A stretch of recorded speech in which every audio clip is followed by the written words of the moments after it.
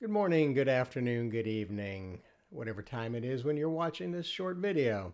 This is John Money McKinley here, and I'm bringing you this quick video here to talk about what the average credit card interest rates are for the week of October 23rd, 2023.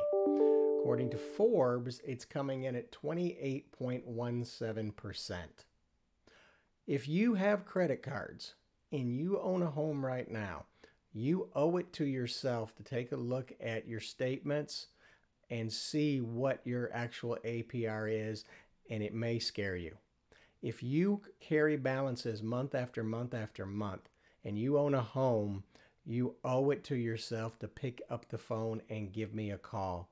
Let me see if there's something I can do on the financing side to help you out and get this debt out from underneath you and still keep yourself with lower monthly payments.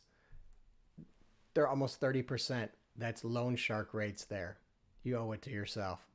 Once again, John Money McKinley, you have a great day. Thank you.